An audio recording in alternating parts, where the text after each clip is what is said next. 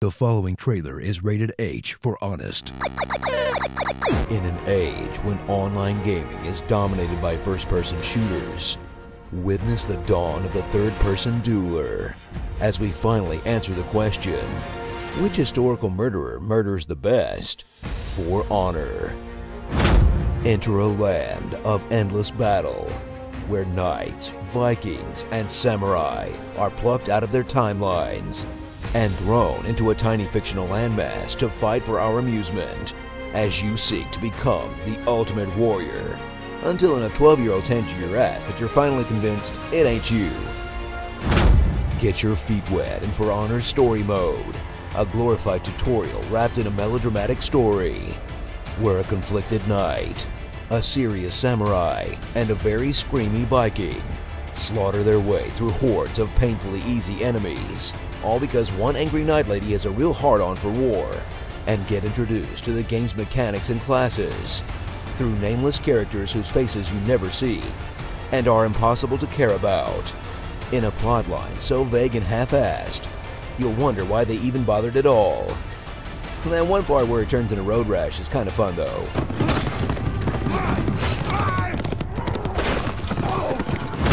Ditch the bots and head online where you'll uncover the real For Honor experience. The most epic game of rock, paper, scissors you've ever played. As you circle your opponents and spin your guard around like a lunatic. Then carefully parry their attacks with godlike reflexes and reaction times. Or if you're a normal person, just spam buttons and directions until you get lucky or die. Then realize that the best strategy in For Honor is to have as little honor as possible. As you hit people while they're down, toss them off ledges, blast them with bombs, arrows, and traps, and just gang up on them and stab them in the back. What, you expected a fair fight? I'm a Viking dog. This is how we do. Select your faction and the ongoing conflict for territory and points. Then discover that it doesn't matter anyway since you can play any character on any faction. Then plunge into the game's handful of online modes like 1v1 duels, which are basically the world's slowest 3D fighting game, 2v2, a level where you get stabbed in the back, a lot. 4v4, where your teammates will immediately fail you. And Domination, a 4v4 match where you occasionally play Dynasty Warriors in between fights. Then get ready to play these modes forever, because that's pretty much all there is to the game.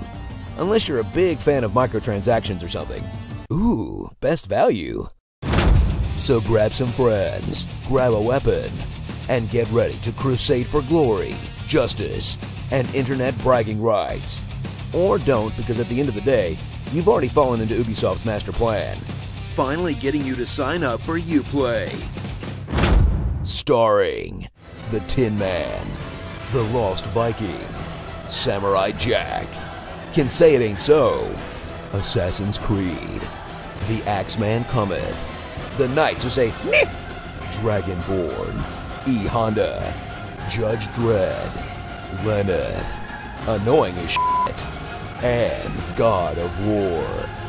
Rainbow Six Actual Siege. My knee! I hope I can keep adventuring! An arrow to the knee joke in the year of our Lord 2017? Seriously, Ubisoft?